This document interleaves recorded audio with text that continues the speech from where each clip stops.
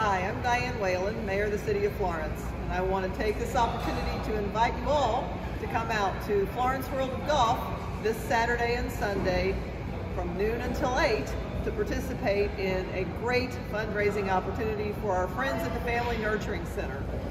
Half of the proceeds raised during the event will go to the Family Nurturing Center so they can refurbish their playground that's used by foster children and kids in need. So do your part, come out, help the Family Nurturing Center get their message out to end the cycle of child abuse.